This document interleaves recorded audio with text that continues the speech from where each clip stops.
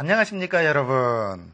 어떤 사람이요, 쓸데없는 걱정으로 인해서 자기가 진짜 지금 현실을 소비하거나 소모하는 사람들이 있죠. 이런 사람들과 우리가, 야, 너 너무 지나친 기우야, 이 사람아.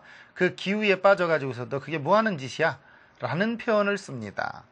그럴 때 여러분 이 기우가 어떻게 만들어졌는지 아십니까? 놀라운 거는요, 지나친 걱정을 하는 사람은 현재를 행복하게 느낄 수 없습니다.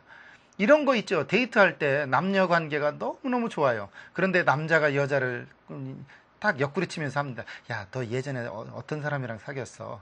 너 그 얘기 다 해봐. 내가 다 용서해주고, 어? 아무 일로 없었던 것처럼 할게. 그래주고 하, 이미 지나간 일을 한번 살짝 얘기해주면 그거를 가지고 내가 과연 이 여자를 사귀어야 되나 말아야 되나 몇 달, 몇 년을 고민하는 사람이 있습니다. 아, 요즘은 그런 사람 없나요? 예전 얘기인가요? 이것도 무슨 얘기냐? 이미 지나간 일이고 아무것도 아니고 되어버린 일을 가지고 너무 미래까지도 소비하는 사람. 여러분, 현재 때문에 미래를 소모하는 것도 아니고요. 과거 때문에 미래를 소모한다면 여러분 이거 무엇입니까 이거? 옛날에 사는 사람이죠. 이럴 때 우리는 기우라는 표현을 쓰고요. 또 일이 오지도 않았는데 그 일 가지고 너무너무 걱정해서 현재를 소미하는 사람이 있어요. 오지도 않은 미래 때문에 현재를 완전히 뭐 끝난 사람처럼 살아요. 이런 사람도 기우입니다. 과연 어떻게 만들어졌는지 낯글자 한번 봅니다. 같이 보죠. 이 기자를 아는 사람들이 의외로 적죠. 이게 구기자를 나타낼 때 쓰는 구기자 나무 기자라고도 하고요. 나라 이름 기자입니다. 주나라 때의 하남성 개봉 근처에 있던 조그마한 나라의 땅 이름이 기나라였습니다. 이 그래서 이걸 나라 이름 기라고도 하죠. 사실은 나무에 몸을 굽힌 것 같은 조그마한 열매가 맺힌 구기자라는 뜻에서 구기자 기였다가 아마 이 하남성 쪽에 그 구기장 나무가 많이 열려 있었던 모양이죠. 그래서 나라 이름 기자가 됐습니다. 사실은 뭐 또 이 나라를 세운 사람이 이름이 기일 수도 있고요. 그런데 이 기자를 아는 사람이 적지만 요것 때문에 음이 기가 난다는 것은 눈치로 채는 사람이 많을 겁니다. 예를 들어 우리가 기류라는 응용 단어를 보면요. 고리버들이라는 뜻이고요. 기우 그러면 쓸데없는 걱정을 이야기할 때 쓰는 표현입니다. 우리가 이렇게 낮자가 잘 모르는데도 불구하고 귀에 익은 자들이 있어요. 이 기우라는 표현을 쓰지만 이 기자가 과연 구기자 나무 기자인 줄은 잘 몰랐잖아요. 또 나라 이름 기자라는 것도요. 그러면 우자 한번 알아봐야 되겠죠? 우자 같이 봅니다. 같이 보죠. 이 우자는 사실 이게 머리혈의 변형형이 이겁니다. 즉 머릿속에 걱정하는 마음이 많아가지고서 발걸음이 어떻게 된다는 거예요. 천천히 걷게 돼서 무거워 보인다는 얘기죠. 우리가 고개 푹 숙이고서 그 걸음 천천히 걷는 사람 보면 왠지 근심거리가 있어 보이죠. 그래서 우리는 이것을 근심우라고 합니다. 머리열의 변형, 마음심, 천천히 걸을세. 머릿속에, 마음속에 무언가 복잡한 것 때문에 고개 숙이고 걸음이 천천히 무겁습니다. 근심거리죠. 근심우가 되겠죠. 우리가 우려하다라는 응용 단어의 뜻은 근심과 걱정이란 뜻입니다. 근심, 걱정. 우리가 우수에 젖는다 할 때 우수는 우울한 것과 근심거리죠. 여러분, 우수라는 말은 넉넉할 우자에 빼어날 숫자를 쓰면 뭐예요? 그렇죠. 학업 성적이 아주 최고로 좋다는 뜻이고 비우자의 물수는 그렇죠. 비가 많이 내리는 우수절이라는 절기죠. 이처럼 음은 똑같지만 한자에 따라서 완전히 뜨르 이렇게 뜻이 달라지는 경우 많이 있다는 것 알아둬야 되겠죠? 그러면 기후의 문법 한번 보죠. 같이 보겠습니다. 기후. 원래 기후의 기후는 기인 우천이란 말의 준말입니다. 주어, 서술어, 목적어죠. 즉, 기나라 사람이 하늘을 걱정한다, 근심한다란 뜻이에요. 그것을 줄여서 기우입니다. 기우, 기나라 사람의 근심거리, 기나라 사람의 뭐 걱정 이런 뜻이 되겠죠. 이 이야기는 열자 천서편에 나오는 이야기입니다. 그럼 열자책으로 한번 열어봐야 되겠죠? 책 한번 열자. 네, 그러면 열면 천서편이 펴집니다. 그럼 천서편에 어떤 이야기가 나오냐면 기나라 사람이 쓸데없는 걱정을 너무너무 하면서 누워 있습니다. 그런데 그 걱정을 하는 사람을 걱정해 주는 사람이 있어요. 그래서 야, 이거 그 사람을 한번 가서 위로해 줘야 되겠다고 그 사람이 갑니다. 그러니까 누워 있는 사람을 찾아가 이렇게 말합니다. 하늘은 기운이 쌓여서 된 것으로 기운이 없는 곳은 한 것도 없다. 그 우리가 몸을 움츠렸다 폈다 하는 것도 숨을 내쉬고 들이쉬는 게 하는 것도 다 기운 속에서 하고 있다. 그런데 무슨 무너질 것이 있겠는가? 그러니까 하늘이나 땅이 무너질 걸 걱정하는 사람이 또 한마디 합니다.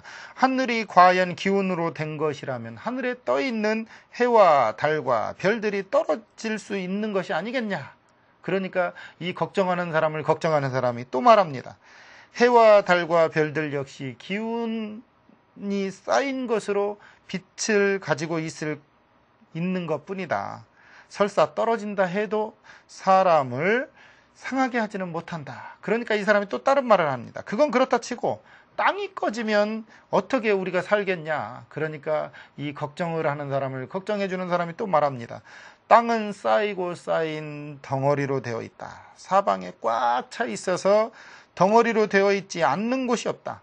사람이 걸어 다니고 뛰놀고 하는 것도 종일 땅 위에서 하고 있다. 그런데 어떻게 꺼질 수 있겠는가 라고 말해줍니다. 이 말에 침식을 패하고 누워있던 기나라 사람이 벌떡 꿈에서 깬 것처럼 일어납니다. 그 모습을 보고 깨우쳐 주러 간 사람도 따라서 크게 기뻐했다는 얘기가 기인 우천이란 얘기입니다. 기나라 사람이 하늘 걱정을 하고 있더라 이 말. 하늘이 무너질까, 땅이 꺼질까 걱정을 하고 있더라 이 말이에요. 그런데 여기서는요. 걱정하는 사람을 걱정하는 사람이 어떻게 해줬어요? 깨우쳐져서 둘 다 기뻤지만 옛날에 이런 말이 있죠. 기독교인과 불교인이 양 마을에서 최고의 칭송을 받고 살았답니다. A라는 마을과 B라는 마을. 그런데 이 마을 사람들이 서로 중간쯤에서 만나면 서로 믿는 것을 믿으라고 막 아우성입니다. 그래서 마을 사람들끼리 회의를 해서 우리가 존경하는 최고의 대표끼리 만나서 하나의 교로 한번 뭉쳐보자 라고 해서 서로가 서로에게 설득되는 쪽으로 우리가 어떻게 하기로 교를 믿기로 하자 하고서 두 사람을 중간에서 만나게 했습니다. 아 그런데 한참 이 기독교인은 불교에 대해서 불교는 기독교인에 대해서 설득을 하더니 두 사람이 합의를 봤습니다. 기독교인은 불교인이 되고 불교인은 기독교인이 됐습니다. 여러분, 이게 무엇입니까? 세상이 지금 그러고 있죠. 서양이 동양에 와서 서양 사상을 전하고 있고, 동양 사상은 또 서양 가서 난리를 피고 있어요. 그것도 하다 못해서 텔레반까지 난리야, 이제 구도자라고 자기들이. 여러분, 세상이 묘하지만 걱정하는 사람을 걱정해주는 사람도 기뻐하는 참 믿음을 가져야 됩니다. 오늘 이 여기 이 생각을 듣고 있던 이 열자의 내용은 참으로 대단합니다. 이 열자의 이름은 어구라고 하는데 이 열자책은 전국 시대의 정나라 사람인 열자가 기록했다는 사, 어, 학설이 있지만 사실은 그의 저서라고 하지만 후인의 위작이 더 많다고 합니다. 후인들이 그 오면서 첨가하고 빼고 뭐 이렇게 한 게 더 많다고 그래요. 여러분 쓸데없는 걱정으로 지금 현실을 소비하지 마십시오. 꼭 시험 기간 오면 이런 사람 있죠. 야, 큰일 났다. 시험 열심히 공부해야지. 그러면서 사실은 오늘 하나도 안 해요. 아무것도. 막 시험 걱정 때문에 온갖 생각은 다 하는데 사실은 아무것도 안 해요. 야, 열흘 남았으니까 오늘은 책상 정리를 해야지. 이제 9일 남았으니까 그래. 책 여기서 여기까지 다 그 체크해 놔야지. 이제 8일 남았으니까 연필 깎아 놔야지. 7일 날 됐으니까 아, 이제 공부 시작해야지. 이제 시간표 짭니다. 6일 날 되니까 짠 시간표대로 안 되고서 내가 뭐가 부족하지 하고서 똥똥 이 사람 언제 공부합니까? 여러분 진짜 기우에 빠지지 마십시오. 현실, 지금을 당당히 사십시오. 지금 당당히 못 사는 사람이 어떻게 과거를 잘 살고 미래를 잘 살아가겠습니까? 이런 말이 참저 포스터에 멋있는 말이 있대요. 집은 사는 것에서 사는 곳으로 바뀌어야 된다. 사는 것, 꼭 사야만 되는 것에서 사는 곳으로 바뀌자. 사는 것에서 사는 사람들은 집이 화려하고 좋은 것만을 찾지만 사는 곳을 찾는 사람은 낙서도 한답니다. 집에다가. 자식과 같이.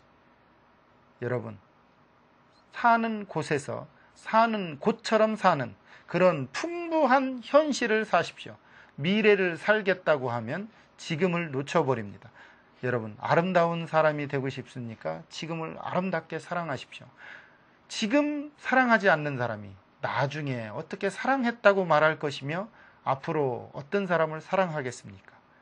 지금 공부하십시오. 지금 공부하지 않는 사람이 어떻게 예전에 내가 공부 잘했다고 할 것이며 앞으로 좋은 자리에 가 있을 수 있겠습니까? 기우에 빠지지 마시고 행여 주위의 미래 일이나 과거 일로 지금 현재를 놓치는 사람에게 이런 표현하십시오. 기나라 사람이 하늘 땅 꺼질까 걱정했다더니 너도 그러더냐 기우에 빠지지 말고 우리 지금 열심히 하자. 이런 말 해주는 여러분 멋있지 않습니까? 다음 시간에 또 다른 고사성어를 가지고 여러분과 만나 뵙는 그날까지 여러분 공부 열심히 하십시오. 제가 기우인가요? 다음 시간에 뵙도록 하죠. 감사합니다.